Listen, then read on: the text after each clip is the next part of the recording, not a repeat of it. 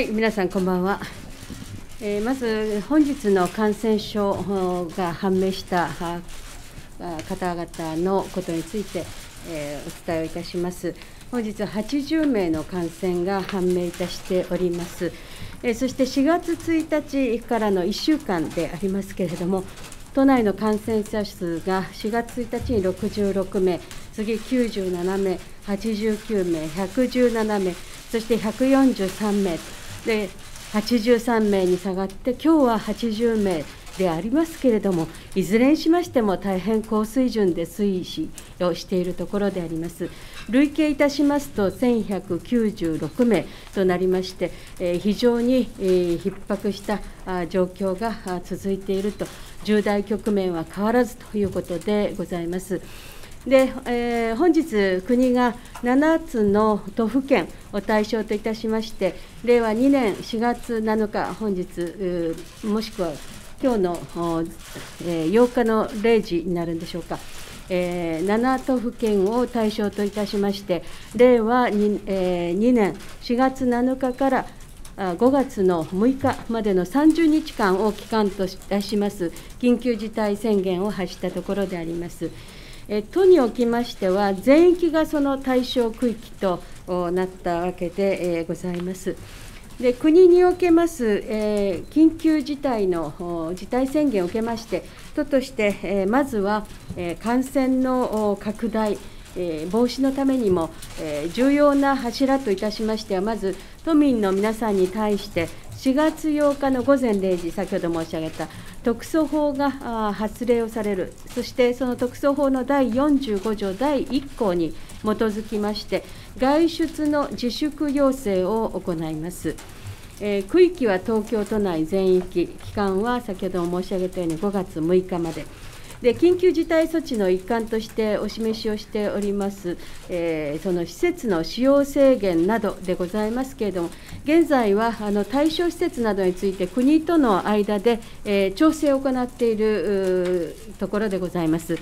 えー、引き続きこの具体的な内容につきましては、この国との調整を行って、えー、都といたしましては、4月の9日までに、えー、現状を考えます鑑みますと、えー緊急的、えあのできるだけ早くこれ明確にしていきたいということから、4月9日までに都としての使用制限に関しての成果を得たいと、成案を得たいと思います。えー、そしてあの外出の自粛の効果も踏まえながら、えー、翌10日の発表、11日からの実施、こういうスケジュール感でいきたいと存じます。やはり東京といたしましては、大変あのスピード感も重要ということでございまして、このような日程を考えたいと思います。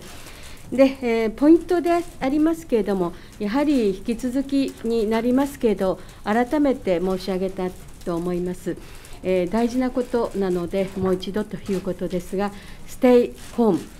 お家にいてください、このアナウンスであります。外出を控えてください、外出しないでください、そして外出せざるを得ない場合には、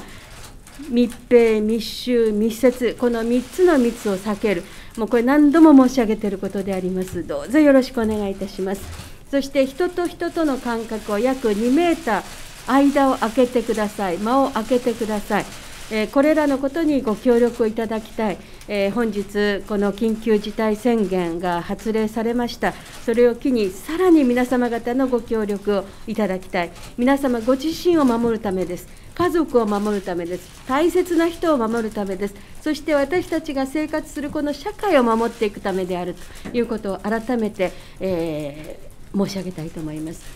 それから何度も申し上げますが、食料品、医薬品などの生活の必需品ですね、このをお買い求めになるための外出、通院などは制限はございません。またあの交通機関の運行につきましても、運休など要請することはございませんので、請求な規制などは、あまた移動は控えていただきたいと思います。それから企業などにおかれましては、業務を行い際にですね、テレワークの活用、本当に徹底していただきたい、そしてできる限り在宅勤務を行うなど、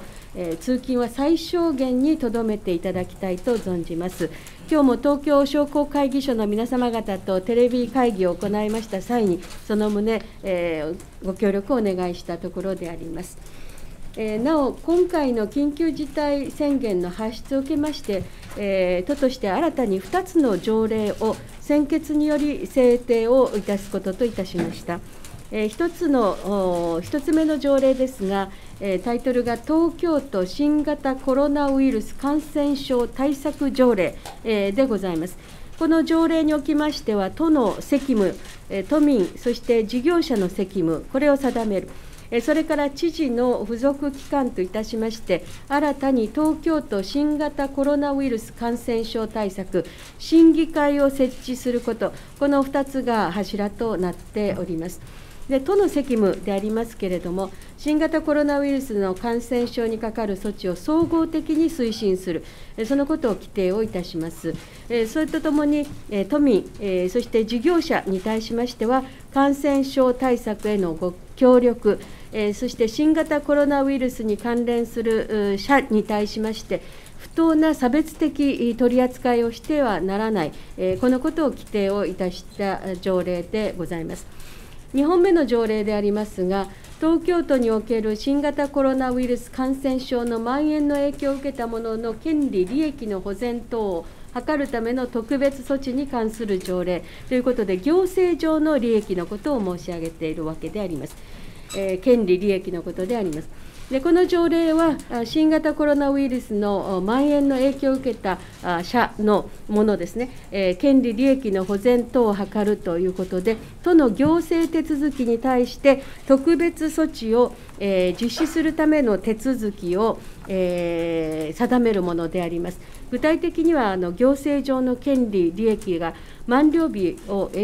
この延長をすること、例えばですね、各種資格の認定期間というのがあります。これをこの条例によって伸ばすことができる。それから例えば食品営業許可の更新など、この間になかなかできないということで、それを伸ばすことができる、え、それから奨学金の返還、これについても伸ばすことができるなどなど、え、これらのことが考えられる、そのための条例で、え、あります。要は行政上の権利の利益の満了日を延長すること、および期限内に履行されなかった行政上の義務の履行の面積の規定を設けるという中身になっております。え都民の皆様方と私たち一丸となってこの国難をどうにか乗り越えていきたい。